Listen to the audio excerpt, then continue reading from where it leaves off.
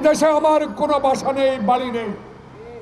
এদেশের মানুষ এদেশের মাটি, যেই নেতা বাংলাদেশের স্বাধীনতা ঘোষণা করেছে, শহীদ প্রেসিডেন্ট জিয়াউর রহমানের, এই বাংলাদেশে আমি থাকব। যেদিন বাংলাদেশে আগস্টের পট পরিবর্তনের পর আপনি বলেছিলেন, সুখের মাস। সেই সুখের মাসেই পাঁচ তারিখে বৈষম্য বিরোধী ছাত্র জনতার আন্দোলনে আপনারা সেদিন, আপনি সেদিন বিদায় নিতে বাধ্য হয়েছিলেন। বাংলাদেশে অগণিত মানুষকে আপনি হত্যা করেছেন, আপনার বাহিনী দিয়া। হবে মামলা কয়টা হয়েছে বাংলাদেশের স্বাধীনতার ঘোষক শহীদ প্রেসিডেন্ট জিয়াউর রহমানকে অপমান করে কথা বলেছেন। বাংলাদেশের প্রথম মহিলা মুক্তিযোদ্ধা যিনি বাংলাদেশে আপম মানুষের প্রাণপ্রিয় নেত্রী ছিলেন যিনি বাংলাদেশে গণতন্ত্রকে, সেই রাচার আস্বাদি বিরোধী আন্দোলনে বাংলাদেশে মানুষের কাছে প্রিয় নেত্রী হয়েছিলেন, যিনি বাংলাদেশের মানুষ তাকে দেশ নেত্রী উপাধি দিয়েছেন। যেই নেত্রীটি বাংলাদেশের নির্বাচনে পাঁচটি আসনে দাঁড়িয়ে একটি আসনেও ফেল করেন নাই, পরাজিত বরণ করেন নাই, সেই নেত্রী বেগম খালেদা জিয়াকে একটি অসত্য মিথ্যা মামলায় সাজা দিয়ে তাকে মৃত্যুর পথে ঠেলে দিয়েছেন প্রিয় ভাইয়েরা। যে নেত্রী আজকে চিকিৎসার সামান্যটুকু সুযোগ শেখ হাসিনা থেকে পায় নাই প্রিয় ভাইয়েরা।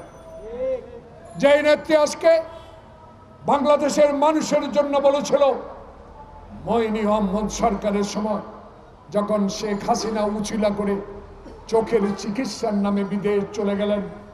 তখন দুই নেত্রীকে মাইনাস করার জন্য ওয়ান ইলেভেন মির্জাফর সরকার, মঈন ফখরুদ্দিন সরকার, যখন বেগম চিয়াকে বিদেশে পাঠার চক্রান্ত করেছিল, তখন দেশ নেত্রী বলেছিলেন, বিদেশে আমার কোনো প্রভু নাই।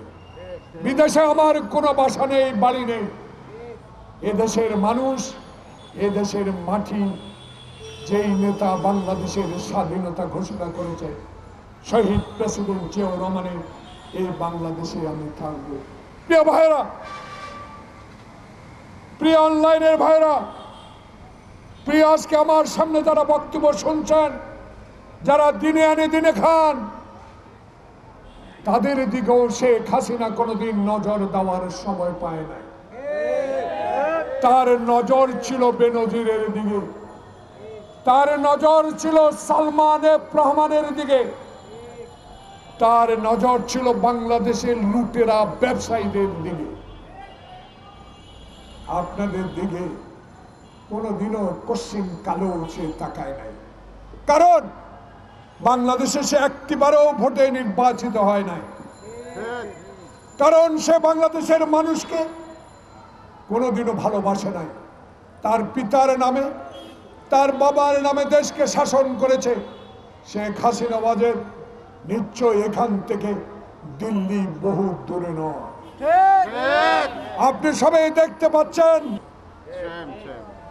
হাজার হাজার কোটি টাকা খরচ করে পিতার সেই ছবি, অলি গলি, অফিস আদালত মানুষের বাসা বাড়িতে জোর করে দেওয়ার চেষ্টা করেছিলেন। আল্লাহর কি নির্মম পরিহাস?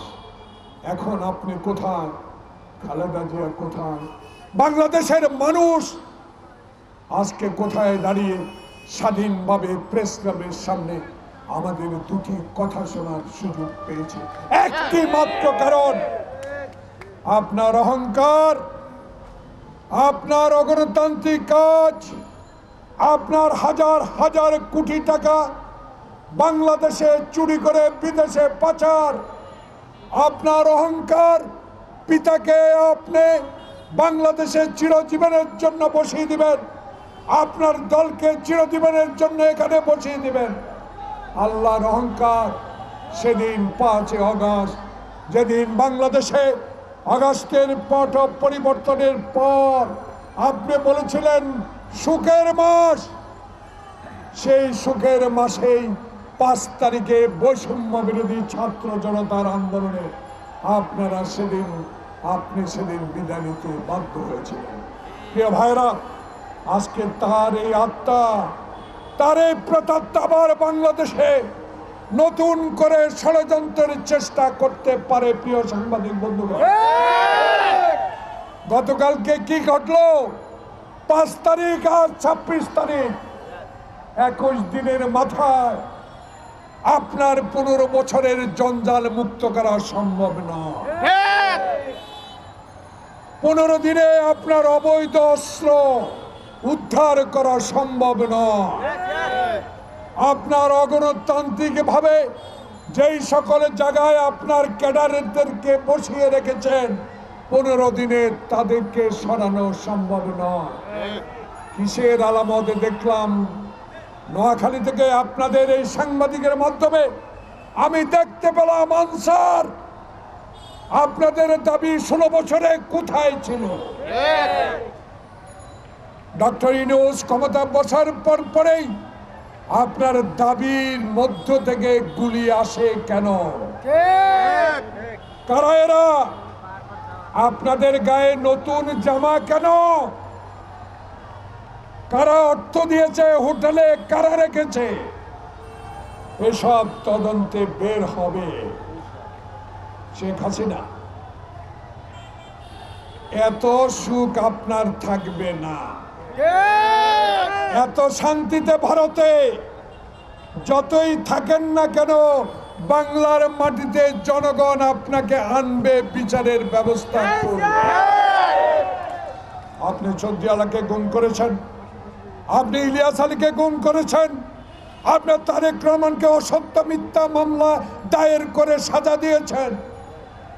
আপনি সাইদিকে জেলখানায় মারার ব্যবস্থা করে দিয়েছেন। বাংলাদেশে অগণিত মানুষকে আপনি হত্যা করেছেন আপনার বাহিনী দিয়া। হবে মামলা কয়টা হয়েছে আরও মামলা হবে। ভারত, বন্ধু যদি ভারত যদি আমাদের বন্ধু হও, দয়া করে আপনার দেশে গণতন্ত্র হবে, বাংলাদেশে স্বৈরাচারী শেখ হাসিনাকে সমর্থন করে কি রাখতে পেরেছেন? কি রাখতে পেরেছে এখন কোথায় আপনি? ভারতের একটি এয়ারফোর্সের ঘাঁটিতে আপনি আটক। ভারতের বন্ধু আপনি যদি হন, মোদী সরকারের কাছে অনুরোধ জানাব অনতিবিলম্বে তাকে হস্তান্তর করেন। মামলা ইতিমধ্যে দায়ের হয়ে গেছে। অস্ত্রধারীরা চুপে চুপে এক হচ্ছে, পয়সাওয়ালারা এক হচ্ছে। এদের বিরুদ্ধে ষড়যন্ত্র হচ্ছে অনলাইন। বিএনপি গ্রুপ, ওলামা দল, সতর্ক হয়ে যান, এরা আবার ঢুকবে। এরা যেন বাংলাদেশে আবার এই ডক্টর ইউনুসের আসন্ন নির্বাচনকে বানচাল না করতে পারে কোনো ষড়যন্ত্র না করতে পারে সেদিকে অবশ্যই আপনাদেরকে নজরে রাখতে হবে।